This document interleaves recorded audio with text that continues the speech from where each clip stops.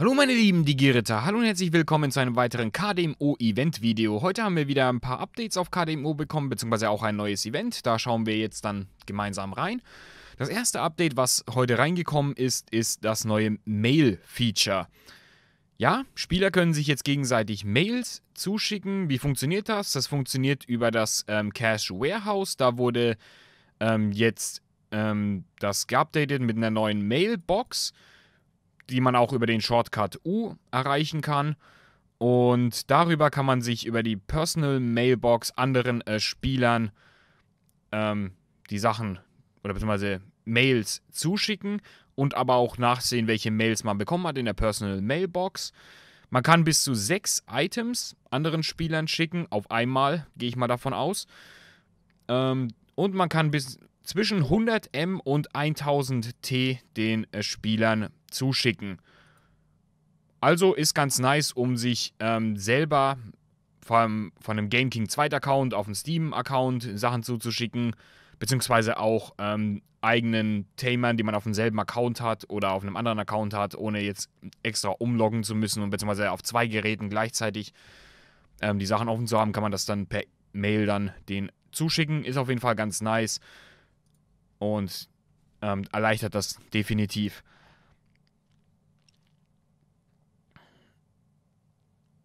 Dann gibt es die Dot-Mailbox, die ersetzt dann ähm, das bisherige Distribution Warehouse, also das, wo die ähm, Items, die man gekauft hat, drin gelagert wurden. Und ähm, dann gibt es noch die Reward Mailbox, wo dann die ähm, Inspection Rewards und solche Sachen dann in Zukunft drin sein werden. Dann wurde Shoutmon Cross 5 hinzugefügt. Letztes Event kam ja Shoutmon Cross 4 rein, jetzt kommt dann schon Shoutmon Cross 5 rein. Mit Sparrowmon dann natürlich auch noch mit dabei. Die ähm, kommt als Digi-Eye auch noch mit rein. Sehen wir dann an, bei, wenn wir dann in den Shop reinschauen. Und ja, Shoutmon Cross 5, der wird dann alle 5 Mercenary-Slots, die man hat, ausfüllen. Wird ein SS-Digimon, also vom Rang her. Dementsprechend das hatte ich mir eigentlich schon für Shoutmon Cross 4 gewünscht, dass Shoutmon Cross 5 dann eventuell SS Plus oder vielleicht sogar SSS wird, aber ähm, das war dann vielleicht auch ein bisschen zu weit gehofft, aber immerhin SS-Rang. Dadurch kann man ihn zumindest schon mal ein bisschen mehr benutzen, auch wenn SS Plus ihm definitiv auch nicht geschadet hätte. Basic Add Property ist ähm, unknown. Ich gehe mal davon aus, dass er wie bei Shoutmon Cross 3 und Cross 4 auch 100% Attribut XP haben wird. Das heißt, gerade auf dem SS-Rang kann man da mit ihm schon sehr viel mehr dann machen, weil er ähm, seinen Attributbonus gegen alle ausspielen kann und immer den äh, vollen Bonusschaden auch noch bekommt. Ähm, Natural Property, also ähm, das Elementattribut ist dann natürlich Stahl und er wird zwei ähm, Family Attributes haben, einmal Nature Spirits und Virus Buster. Das heißt, da kann man zumindest auch mit, mit zwei Shadow Lab Buffs bei ihm arbeiten. Natürlich ist er immer noch ein Jogress Digimon, das heißt, er muss natürlich mit den Jogress Einschränkungen ähm, leben. Erstmal, dass er einen Jog... Nee, er braucht, stimmt, weil er Cross Digimon braucht er keinen Jogress Chip, der braucht nur diese Digi Cross Chips. Aber er kann nur die ähm, Jogress Memory Skills benutzen, was ihn natürlich ein bisschen in seinem Output, also den Damage Output dann einschränkt. Dann haben wir die ähm, ersten paar Stats, also AT 2368, basemäßig auf 100% Größe Level 1, ist jetzt schon mal nicht allzu schlecht, da kann man dann ähm, mit Richtung, denke ich mal, so um die 3000 AT vielleicht rechnen bei gleichbleibenden Attack Speed, wie bei Cross 4 und Cross 3, wäre das auch schon mal sehr solide für einen SS-Rang-Digimon. HP 6110 ist auch ganz okay für den Rang, kann man definitiv machen. Defense 201 und Digisoul 2170 ist auch ganz äh, nice. Dann haben wir die äh, Skills. Einmal haben wir den F1 mit Impact Laser.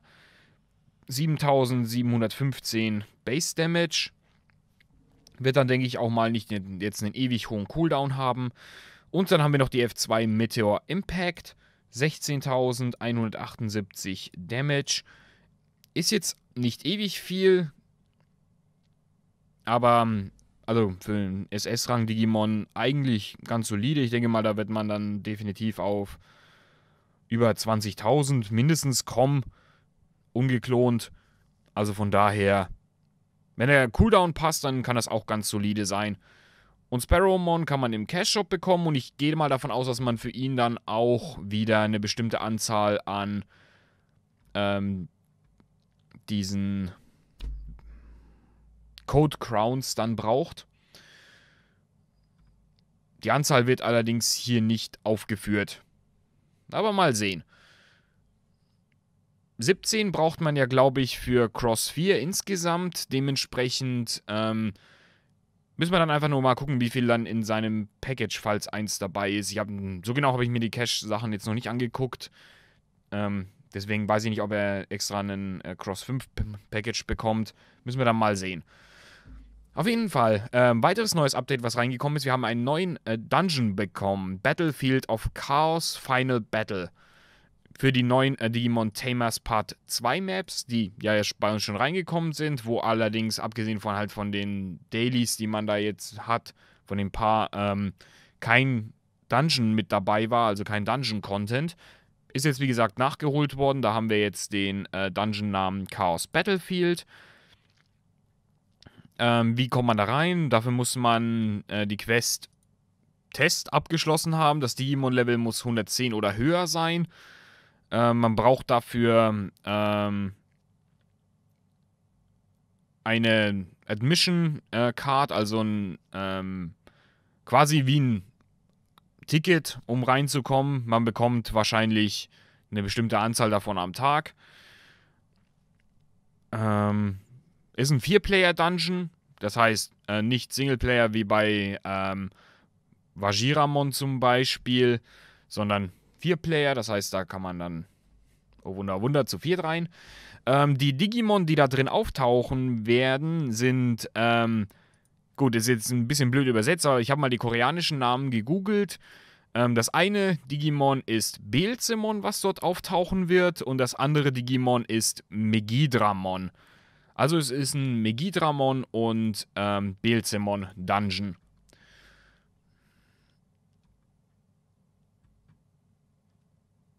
Und dann haben wir noch einen anderen Dungeon. Da habe ich allerdings jetzt ähm, vorhin vergessen, den äh, japanischen Namen von dem Digimon zu googeln, weil in welcher da drin auftauchen wird. Aber das ist dann äh, Tsukiyaomon. Also das ist dann der Tsukiyaomon Dungeon. Und zwar Final Decisive Battle heißt dieser dann. Ähm, dafür muss man Quest Battleground of Chaos abgeschlossen haben. Digimon-Level muss Level 110 oder höher sein. Dafür braucht man ähm, Tsukiyaomon Entrance Amulett ähm, für Final Decisive Battle. Ist auch wieder ein 4-Player-Dungeon. Bossmonster ist dann Tsukiyaomon, ganz offensichtlich. Ähm, und für den Dungeon Clear bekommt man ein Radioactive Integer Number einmal keine Ahnung, also das ist dann wieder mal ziemlich blöd übersetzt vom Google-Übersetzer, aber dasselbe, dieselbe ähm, Dungeon Reward bekommt man dann auch bei dem anderen. Ähm, und ähm, es wurden ähm, beim D-Terminal, beim ähm, Ponchesmon Black, müsste das ja sein, wurden weitere Craft-Sachen hinzugefügt. Und zwar ähm, haben wir jetzt ähm, weitere neue Goggles bekommen. Also bisher war ja die, waren ja die Awakening Goggles das höchste, was man haben konnte. Jetzt wurde das alles erhöht auf ähm, Goggles Awakening plus 1, plus 2, plus 3, plus 4, Digital Goggles, die dann hochgehen bis Digital Goggles plus 4 pl und halt dann noch Digital Hazard Goggles.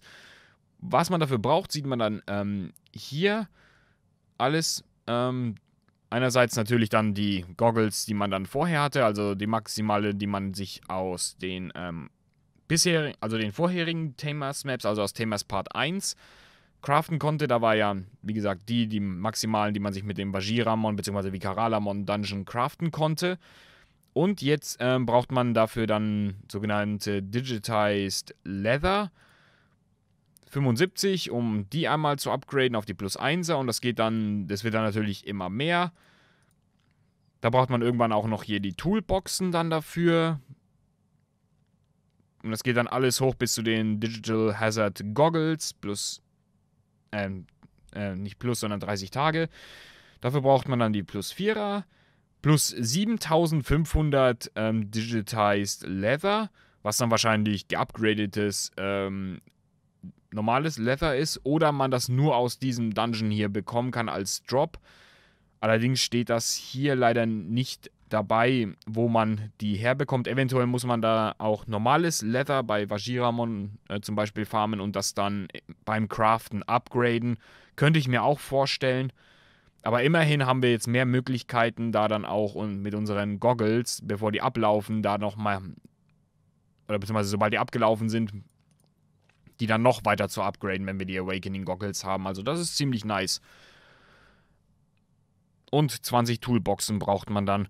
Und man kann sich jetzt auch noch ähm, Hedge Backup Level 4er craften für zwei von diesen Radioactive Integer, die man hier dann gedroppt bekommt. Allerdings, da hätte ich mir eher gewünscht, dass das Hedge Backup Level 5er sind, weil Level 4er, also nur für Level 4er mache ich halt nicht diesen Dungeon, beziehungsweise diese beiden Dungeons. Also das ergibt ja dann keinen Sinn.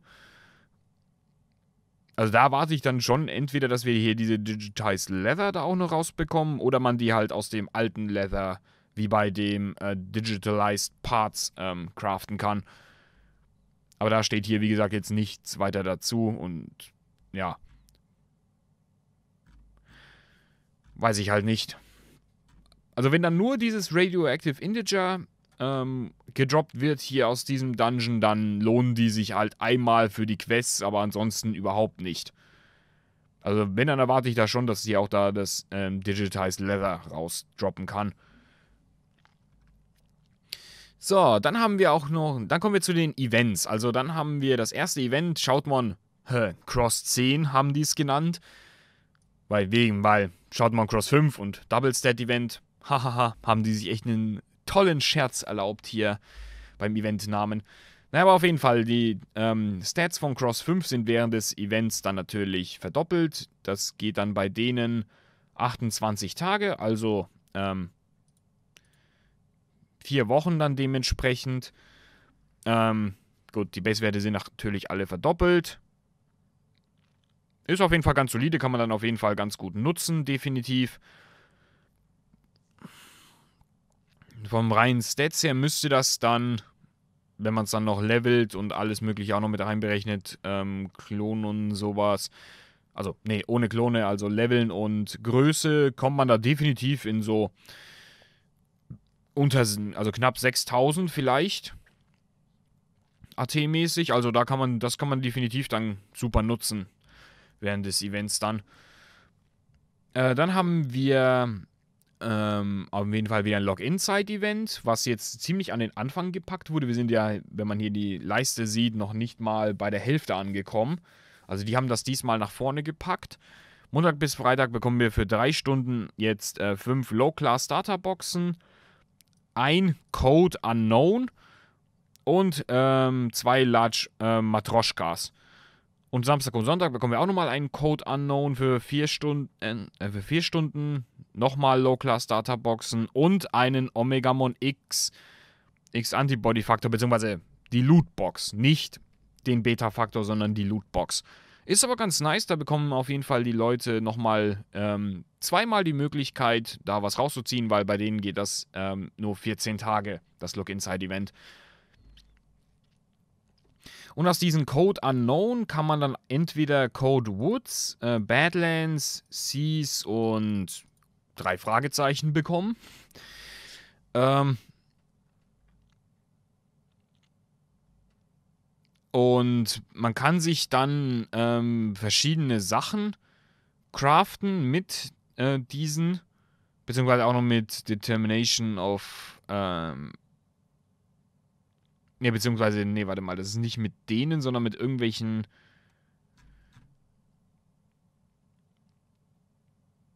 Also, das verstehe ich jetzt nicht ganz, warum man hier dann 100, 128 von diesen ähm, braucht, wenn man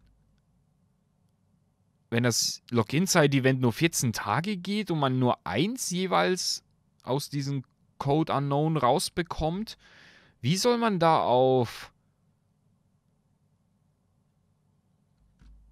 sowas wie 250, 450 von denen kommen, außer man bekommt. Ah, okay, man bekommt die restlichen durch die Events dann auch noch. Ah, okay. Aber okay, die maximalen Sachen, die man sich hier dann holen kann, wären sowas wie ein ähm, ich würde mal sagen, Rare Jogress Random Digi-Egg.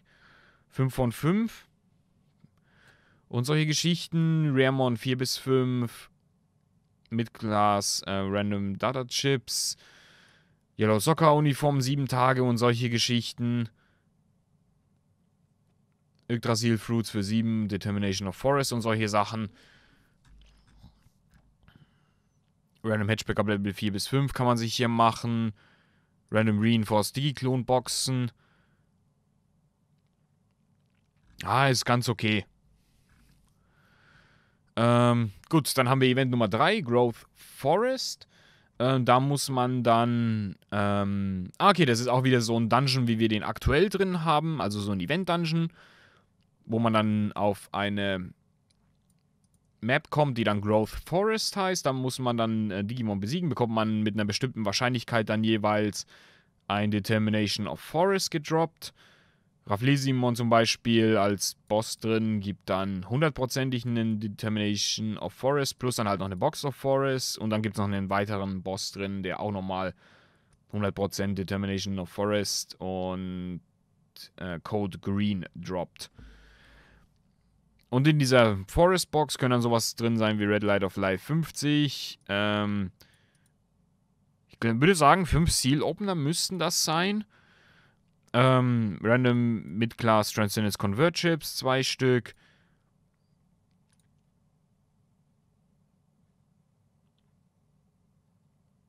Zwei Stone-Geschichten. Ähm, keine Ahnung, was das sein soll. Also ich würde mal sagen, irgendwelche Num entweder Number Change Stones oder Option Change Stones. Wenn das Option Change Stones wären, wäre das, wär das ziemlich nice. Und dann gibt es noch die Random Tamer Skill Box für einen Tag. Auch ziemlich nice. Kann man definitiv auch mitnehmen. Und vor allem ist es ein Event Dungeon, das heißt, der, der geht eigentlich relativ schnell an normalerweise. Dann haben wir Event Nummer 4, Insane Wasteland. Da haben wir auch nochmal einen ähm, Event Dungeon in Waste, Insane Wasteland. Selbes Spiel hier auch, droppt dann auch diese, Decision, den, äh, diese Decisions of the Badlands, was man halt alles für dieses Craften hier braucht. Auch wieder mit einer bestimmten Wahrscheinlichkeit jeweils. Ähm, und in der Wasteland Box, die man rausbekommt, ähm, gibt es dann äh, sowas random natürlich drin wie ähm,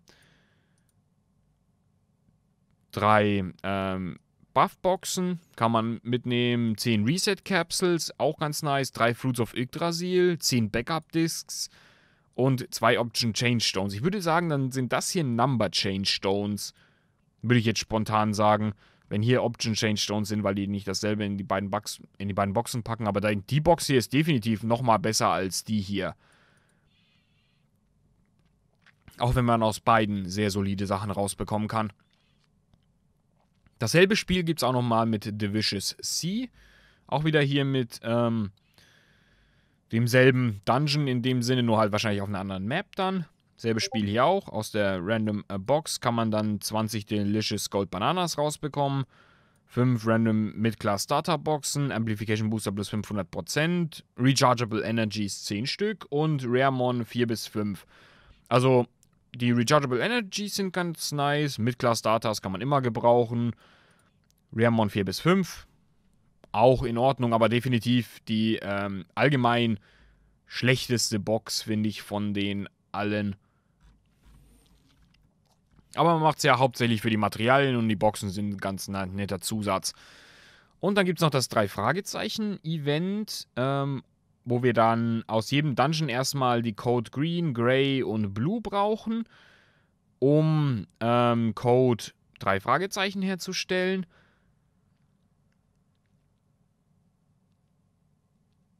Ähm, da müssen wir irgendwen besiegen.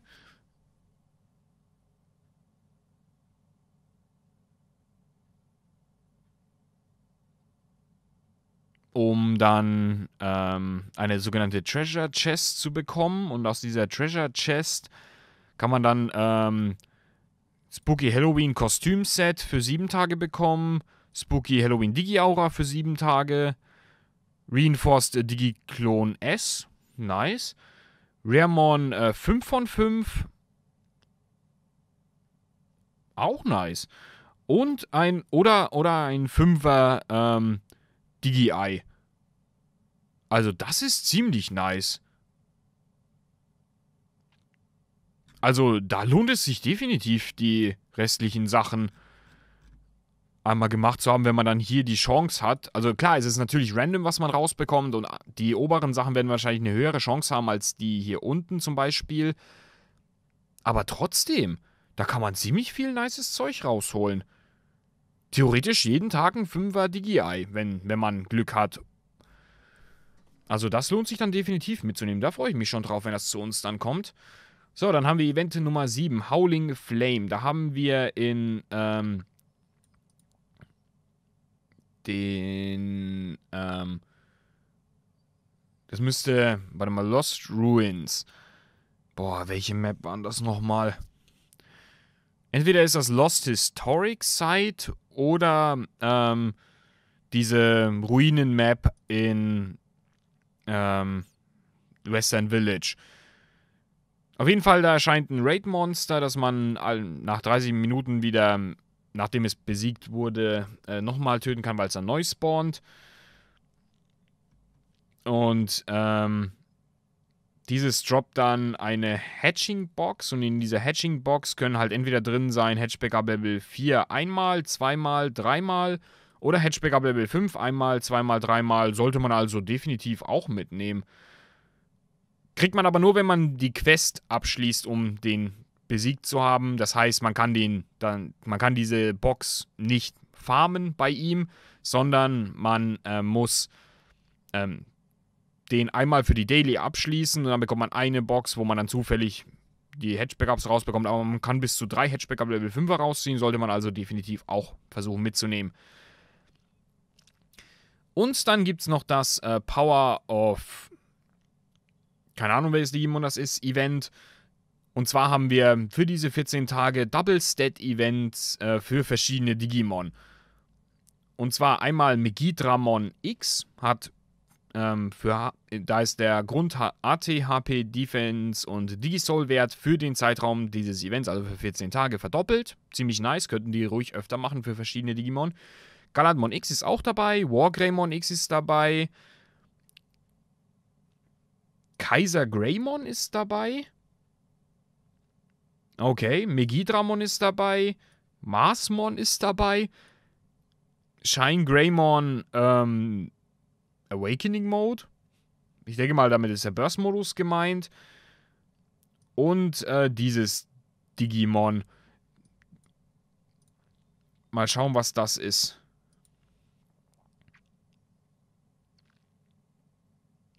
Okay, Tsukiyamon ist verdoppelt.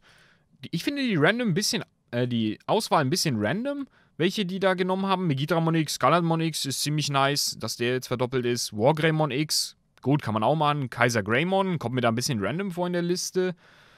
Tsukiyamon erst recht. Megidramon passt dann wieder. Marsmon auch komisch. Den verwendet ja sowieso keiner. Und Shine Greymon Burst Modus. Oh, okay. Ähm, und dann ähm, für die äh, Starmons, die ja letztens reingekommen sind, wurde jetzt ähm, ein Bug gefixt.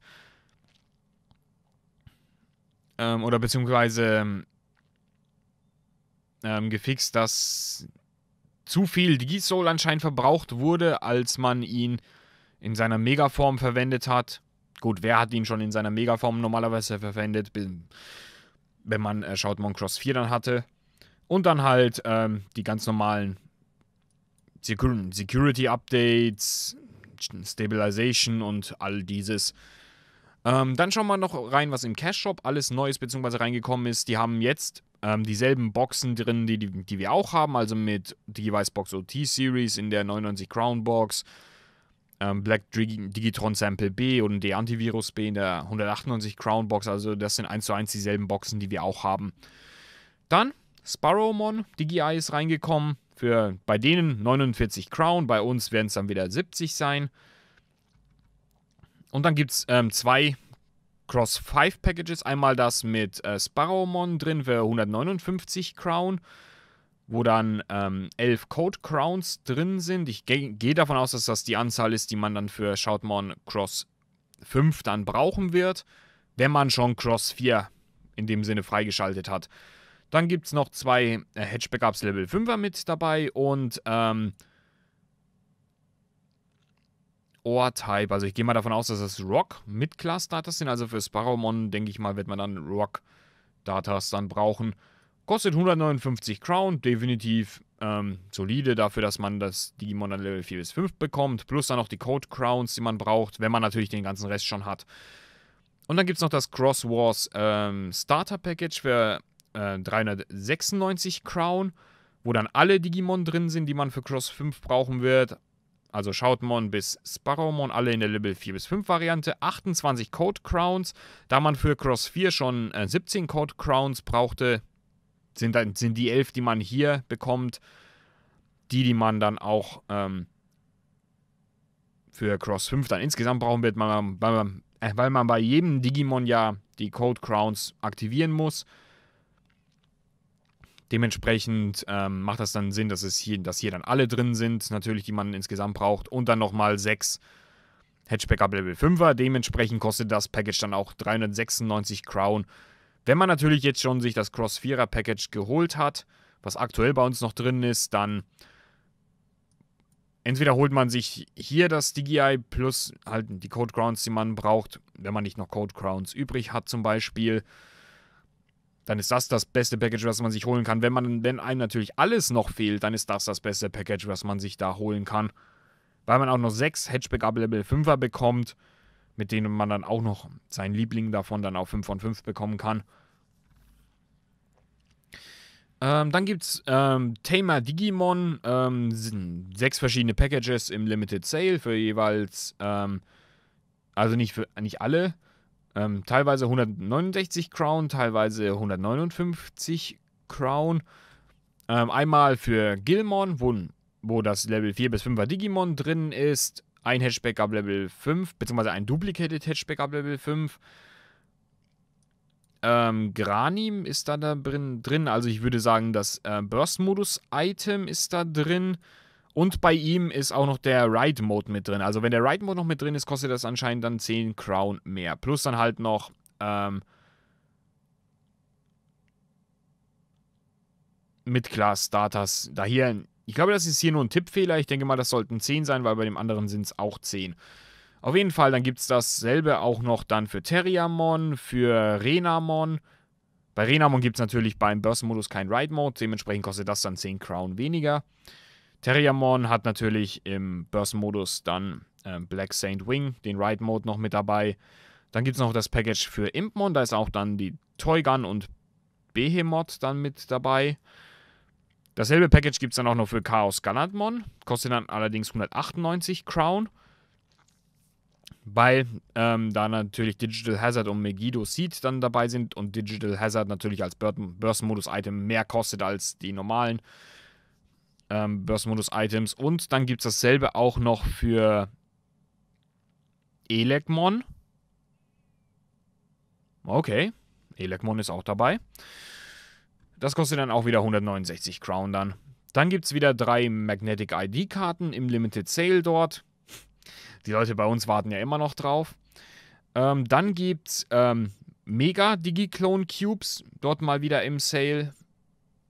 Oder beziehungsweise im Shop eins für 12 Crown und 10 plus 1 für ähm, 120 Crown. Schade, dass es nicht mega Reinforced Digi-Klone sind. Würde ich mir mehr wünschen.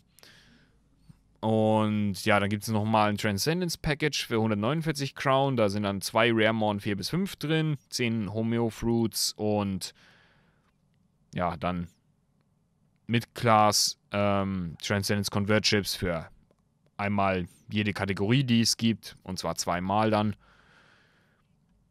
Ähm, dann gibt es äh, Grow This äh, One Well Package Version 3, vier verschiedene Typen. Einmal gibt es das für Gilmon. 4 bis 5er DGI drin mit ähm, Reinforced Digi-Clone Package dann dabei. Muss man natürlich dann äh, jeder selber wissen, ob, einem, ob man dann lieber die Reinforced Digi, das Reinforced Digi-Clone Package mit dabei haben möchte, wenn man sich das Package für Gilmon kauft, oder man kauft sich dann lieber, wenn man noch ein Gilmon braucht, natürlich dann an das andere, wo dann auch noch die ganzen Evolution-Items mit dabei sind und auch noch der Ride-Mode. Auf jeden Fall dasselbe gibt es dann auch nochmal für Lucemon, für Wemon Vedramon und für Hakmon. Wo dann auch noch ein Hatchback ab Level 5 dann jeweils dabei ist, die ähm, 10 Mid-Class-Datas und 40 Low-Class-Datas. Und das war's dann auch. Also, alles in allem gefällt mir das Update. Gerade das Event hier ist, finde ich, ziemlich, ziemlich nice.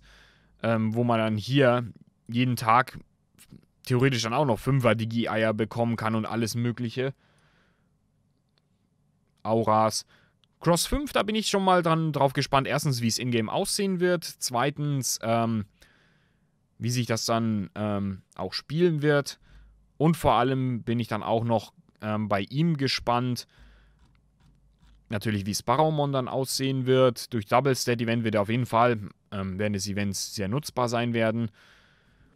Und ja, auf den neuen, auf die neuen Dungeons bin ich zumindest ein bisschen gespannt, auch wenn mich das, wie gesagt, ein bisschen ähm, noch verwirrt bzw. abturnt, dass äh, nur diese Radioactive Integer dort gedroppt werden anscheinend und man mit denen nur Hatchback ab Level 4er craften kann, weil was bringt es einem dann, die bis auf einmal für die Quest zu machen? Mal sehen, wie, aber da man aber dann mal sehen, wenn die dann bei uns reinkommen. Und vor allem auf das Mail-System bin ich gespannt. Also, das ist ganz nice auf jeden Fall.